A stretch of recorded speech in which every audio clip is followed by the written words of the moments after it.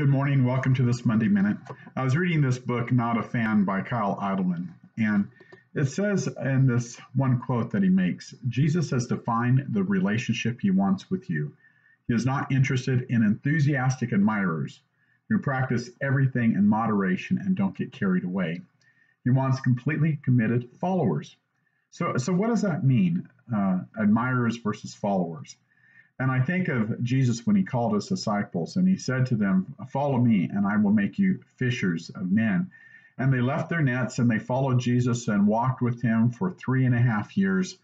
Uh, they were not just admirers who were fans that when Jesus came to town were part of the crowd, but they actually left everything and followed Jesus day in and day out for three and a half years. They, they gave themselves totally to the call of God.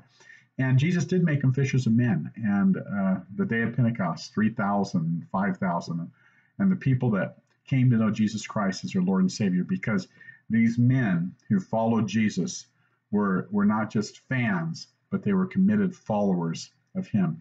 And I think what a difference we would make in our community in Lancaster if we were more of committed followers rather than fans.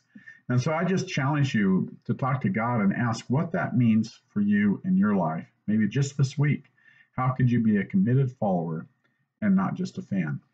That's my Monday Minute. You have a wonderful week and stay cool in the warm weather out there. God bless.